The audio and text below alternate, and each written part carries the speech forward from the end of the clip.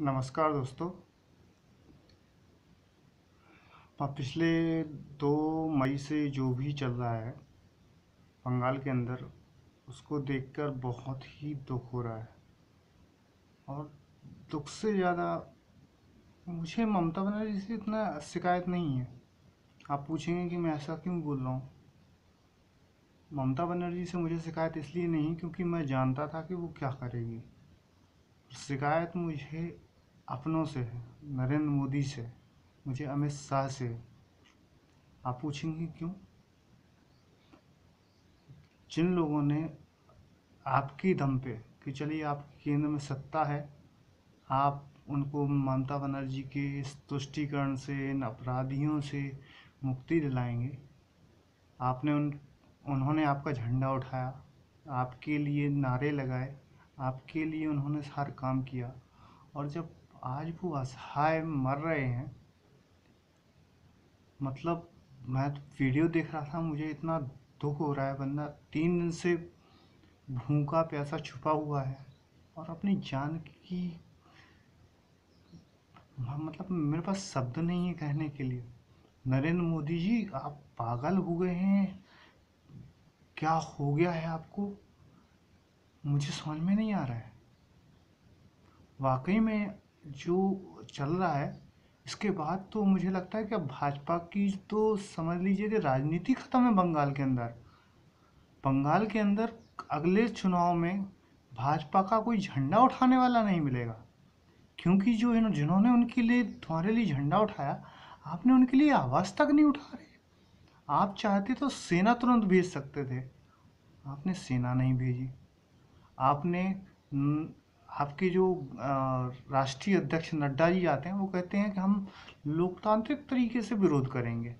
मतलब वो तलवार चलाएँगे, वो महिलाओं का बलात्कार करेंगे गैंगरेप करेंगे और आप लोकतांत्रिक तरीके से विरोध करके यानी अपनी रोटियाँ सेकेंगे। मतलब लाशों पे आप भी रोटियाँ सेक रहे हैं इसका मतलब।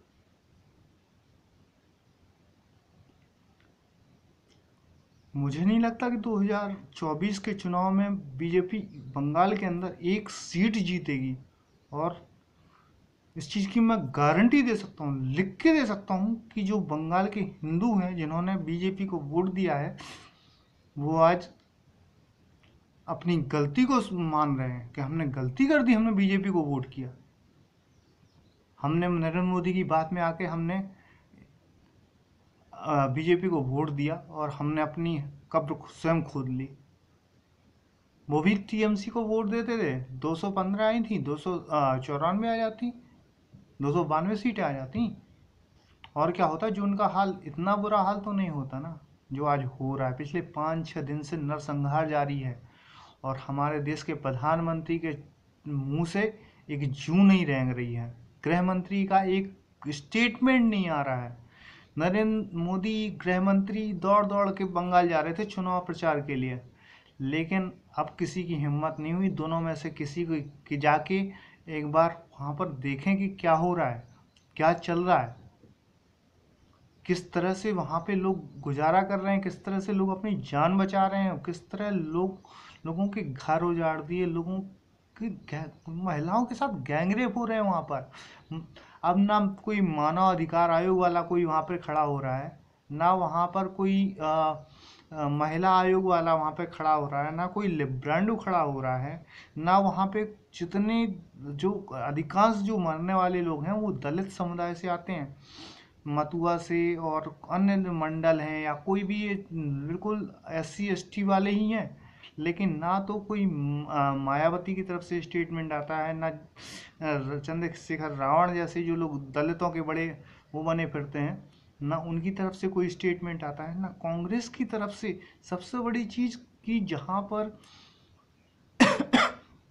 सॉरी वामपंथी और कांग्रेसी भी जो हिंदू समर्थक, हिंदू थे, उनके समर्थक, वो भी मारे जा रहे हैं।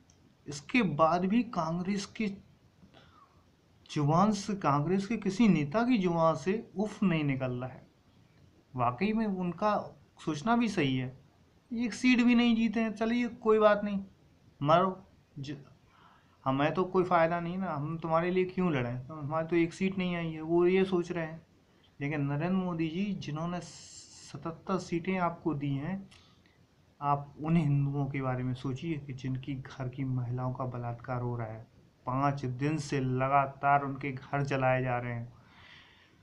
हिंदू भाग भाग कर वहाँ पर असम भाग रहा है। असम की बॉर्डर पे लाखों की संख्या में हिंदू पहुँच गए हैं। नरेंद्र मोदी जी, आप कश्मीरी पंडितों के बारे में काफ़ी बोलते थे ना?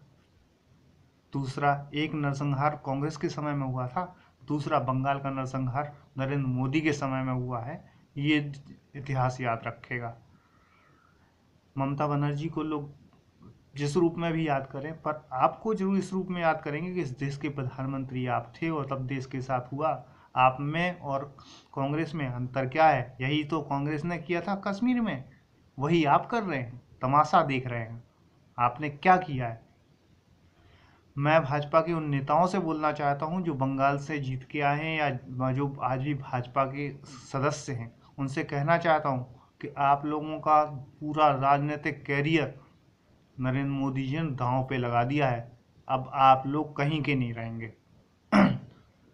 मैं 2024 में पूरे भारत के अंदर जो हिंदू हैं, जिनका जो आक्रोश है, वो आप देखिएगा।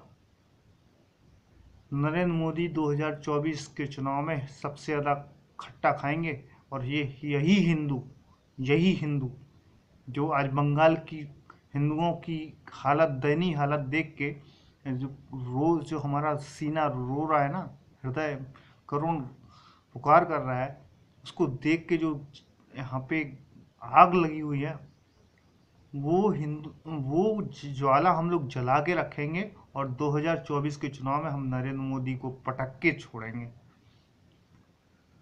अब हिंदुओं, कोई ऑप्शन तो दूसरा देखना पड़ेगा। अब नरेंद्र मोदी के साथ में आगे अब कोई राह दिखाई नहीं पड़ती है। नरेंद्र मोदी सिर्फ़ और सिर्फ़ मुस्लिम तुष्टिकरण पे उतर आए हैं। इनकी हर कार्य, हर चीज़, इन, इतना तो तुष्टिकरण मुस्लिमों मुस्लिमों का कांग्रेस ने नहीं किया। कांग्रेस मुस्लिम तुष्टिकरण करती थी, लेकिन आज नरेंद्र मोदी के शासन में यही मुसलमान आज हिंदुओं पर इतने हावी हो चुके हैं कि बंगाल में, केरल में आप कश्मीर में देखिए उत्तर प्रदेश को छोड़ के जहाँ पर योगी जी हैं, बाकी आप कहीं भी देख लीजिए, मुस्लिम हर जगह से हावी है।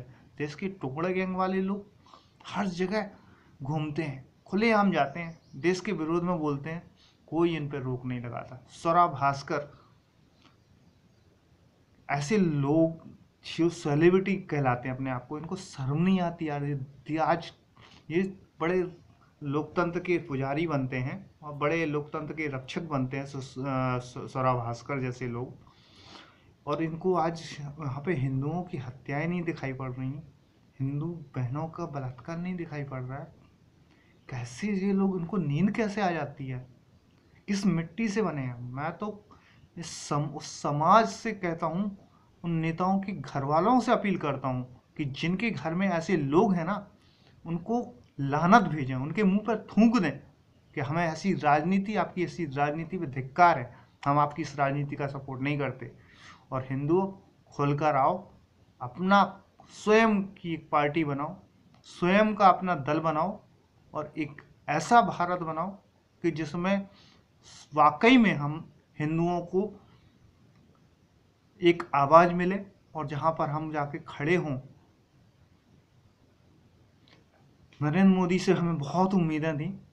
हमने 2002 वाला, गुजरात वाला नरेंद्र मोदी चुना था। हमने एक नपुंसक अमित शाह और नरेंद्र मोदी नहीं चुना था। हमें कड़ी निंदा नहीं चाहिए।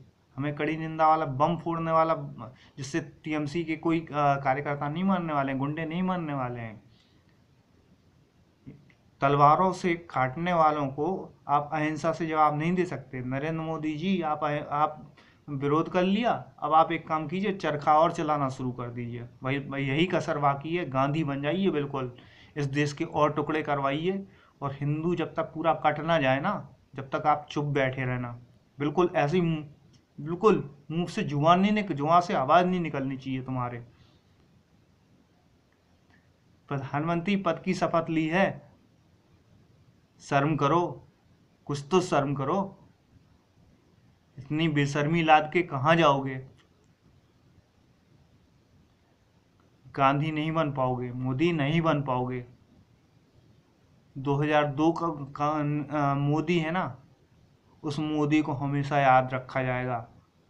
कभी भी आपको 2021 के मोदी के तौर पे याद नहीं किया जाएगा। और जिस मीडिया जिस विदेशी मीडिया के लिए आप गांधी बनने का प्रयास कर रहे हैं ना आप पेपर उठा के दिख लीजिए कटिंग। आपको मालूम पड़ जाएगा कि आपकी क्या औकात है वहाँ पर। विदेशी मीडिया आपको आज भी वही 2002 का मोदी गिनती है और आपके विरोध में ही खड़ी होती है। आप कितना भी इन मुल्लों के और इन लिब्रांडों के दबाव में और विदेशी मीडिया के दबाव में आके काम करें, ये आपको कभी भी अच्छा नहीं लिखेंगे और अच्छा नहीं कहेंगे। और जिन हिंदुओं ने आपको जिताया है ना, आज वो भी आपको छोड़ के जा रहे हैं।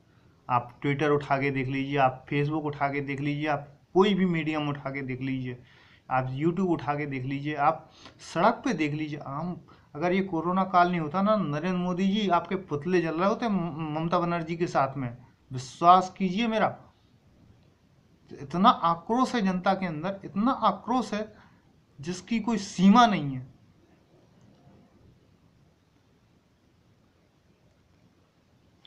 आप बहुत गलत कर रहे हैं, बहुत गलत कर रहे हैं। नरेंद्र मोदी जी, मेरा हाथ जोड़कर आपसे निवेदन है कि अब तो राष्ट्रपति शासन लगा दीजिए बंगाल में और छः महीने तक राष्ट्रपति शासन लगा के और जितने ये टीएमसी के गुंडे हैं, इनको पेड़ों पे लटका लटका के, इनके स्पूनों पे इतने डंडे बजने चाहिए, इतने डंडे बजने चाहिए ताकि आने वाली कई पीढ़ियों तक, आने वाली कई पीढ़ियों तक मेरी बात सुन लीजिए, आने वाली कई पीढ़ियों तक।